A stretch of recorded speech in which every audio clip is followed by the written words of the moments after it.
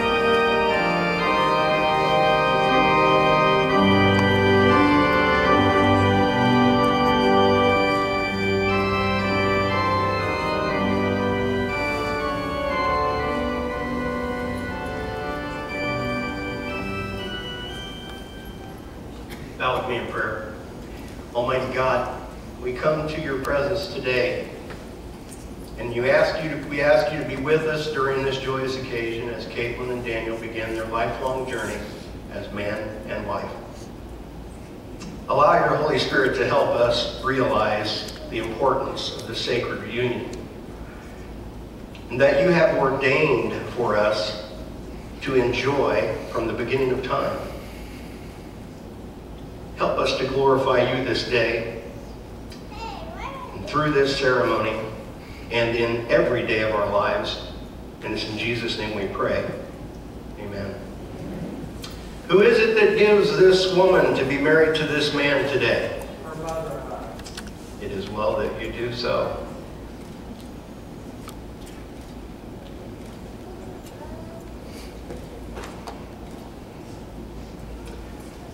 You may be seated.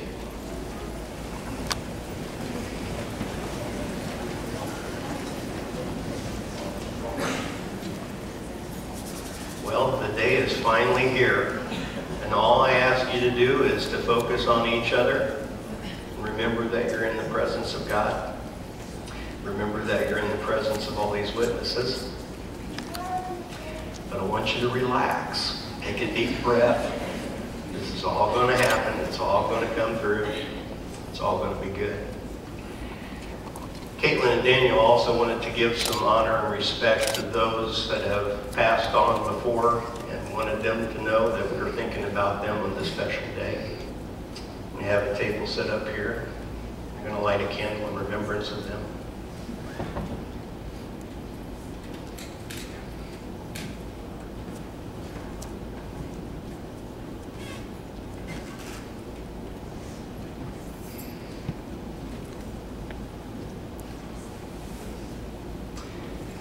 I really love the, the song that you guys started off with today.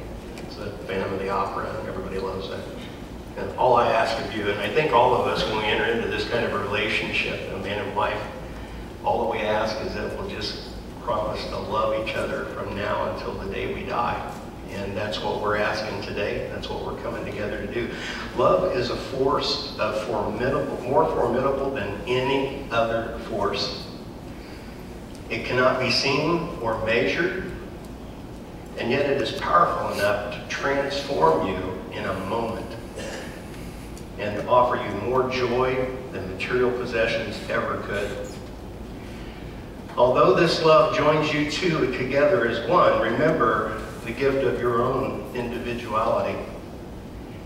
Cherish and affirm your differences as you love each other. Be supportive of each other's strengths and tender towards each other's weaknesses. Now, let me say that again for the benefit of everyone here in the room. Support each other in your strengths, but be tender towards each other's weaknesses.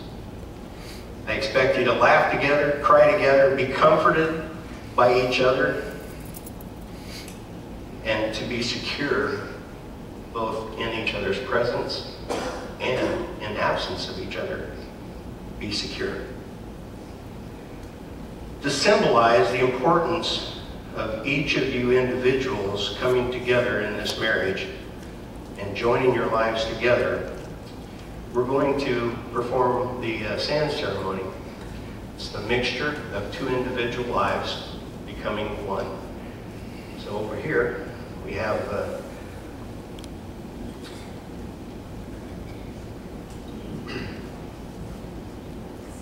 the pink for representing Caitlyn, the blue representing Daniel.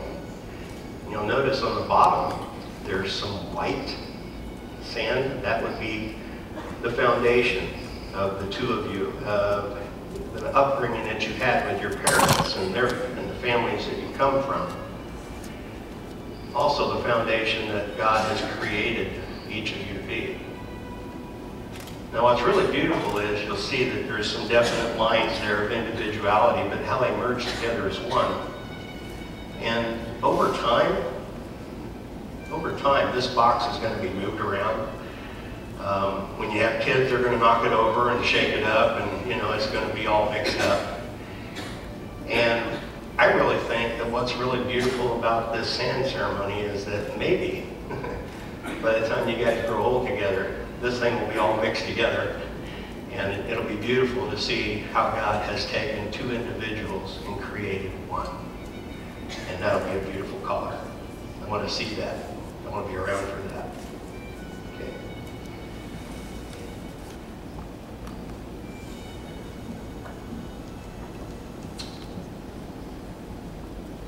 Daniel, Caitlyn, you're not just going through this ceremony to have your special day or just to make it legal. You're here at a sacred moment. This is solemn. You stand here before all these people and before God. All these witnesses have come here today to see you exchange your vows. You've come today as two individuals, but when you leave today, you'll be one in the eyes of God and in all of us as well. This relationship should be symbolic of the awesome relationship that God has with His church. Jesus Christ is the groom, the church is the bride. It is His wish from the beginning of time that there would be unity through the Spirit, through the bond of peace.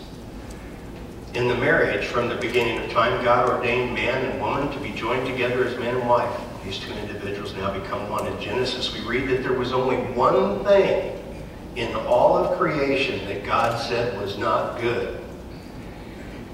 He said it was not good for man to be alone. Now, Daniel, I know that uh, you probably said the same words when you and Caitlyn decided to uh, become man and wife. You probably said the same thing that Adam did. Thank God, one like me. It's one for me. Well, God said the reason that a man leaves his mother and his father, and the woman leaves her home, the two become to get together, and, and they are united as one. So forward, forward from this day, you two individuals will function as individuals, but as one unit. You start thinking of things not necessarily for yourself and what might be right for yourself. You start thinking of the needs of the other before the needs of yourself. You move from what I like to call selfishness to oneness. That's where we start thinking about things that are good for the both of us together. This is uh, best exemplified in the verse that says, Greater love hath no man that he lays down his life for his friend. Now, there's a portion of Scripture uh, in 1 Corinthians chapter 13, and this is what it says there. The, these are just some of the highlights. It says, Love is the greatest. Love is patient, it's kind. Love is not jealous or boastful, it's not proud or rude. It doesn't demand its own way. It's not irritable, and it keeps no record of being wronged. Now, I'm going to repeat that for everybody else in the room too. It keeps no record of being wronged. It doesn't rejoice about injustice, but it rejoices whenever truth wins out. Love never gives up. Love never loses faith. It's always hopeful and endures through every circumstance. These three things last forever faith, hope, and love. Yet the greatest is love. Now, you guys have uh, come up with some vows that you guys would like to share with each other. That's yours, and that one's yours. And they know these, they just wanted to make sure they didn't forget anything. So I'm going to try to get close, speak loud, maybe they'll hear you.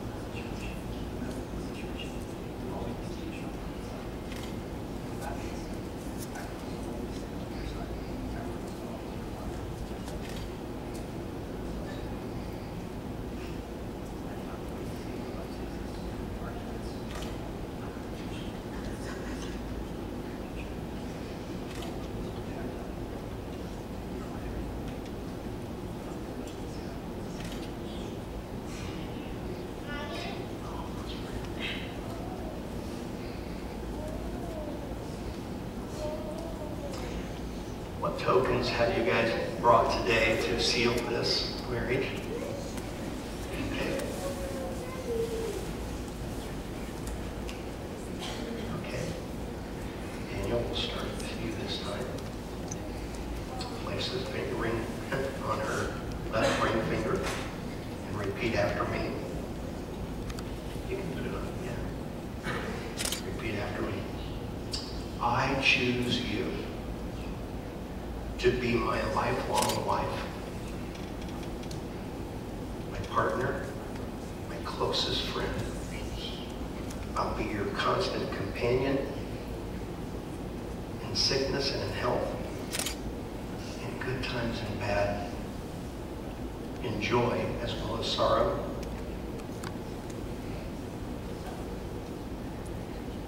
I promise to love you unconditionally, to support you in all of life's journeys, to honor you, to respect you, to laugh and cry with you, to cherish each moment we have together as long as we live. And I give you this ring as a symbol of my love and faithfulness to you and only you. Your response.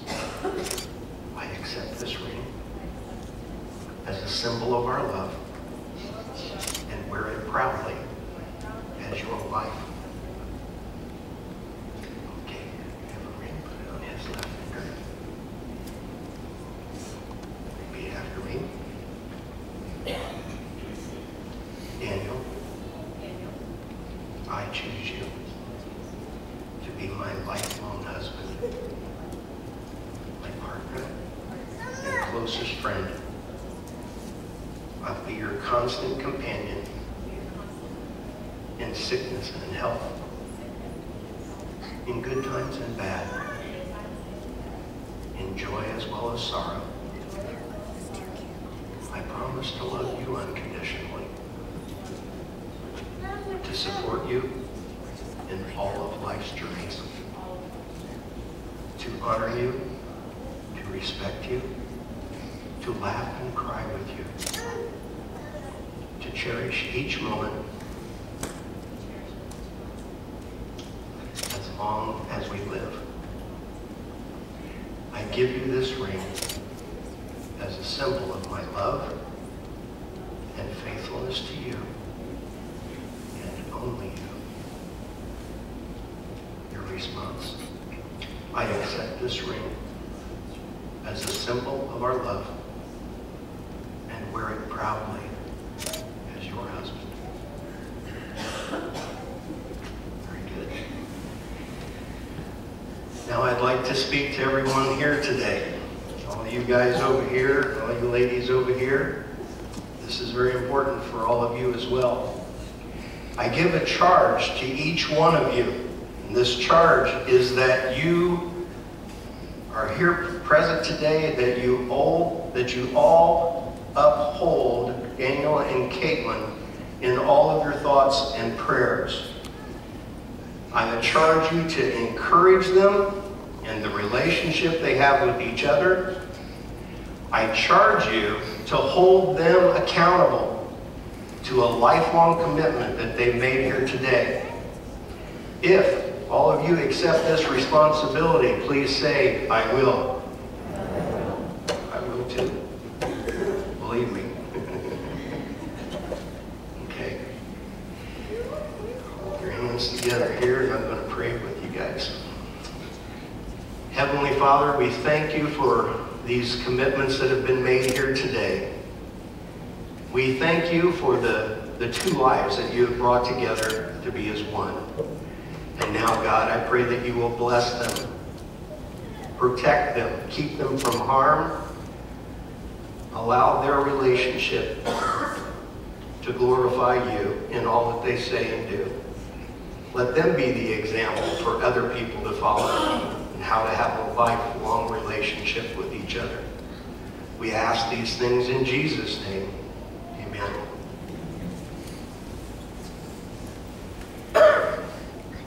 Okay. place. It's all happened. No mess ups or anything. It's been great. I will say this to you guys and give you this blessing.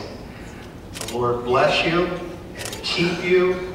The Lord make his face to shine upon you and be gracious unto you until the Lord would turn his face toward you and give you peace. And now, by the power vested in me, by Grace Fellowship Church and the state of Indiana, I now pronounce you man and wife. Daniel, you may kiss your bride.